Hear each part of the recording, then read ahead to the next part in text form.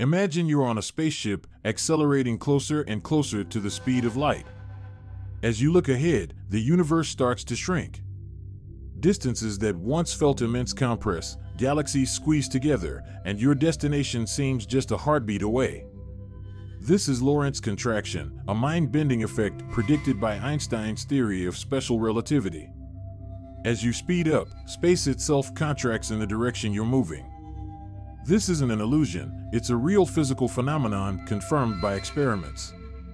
The faster you travel, the shorter distances appear. At 90% the speed of light, a 100 meter spaceship shrinks to just 44 meters. Why does this happen? Space and time are not fixed, they flex and warp with your motion. As space contracts, time slows down, a phenomenon known as time dilation. These effects ensure that the speed of light remains constant, no matter how fast you're going.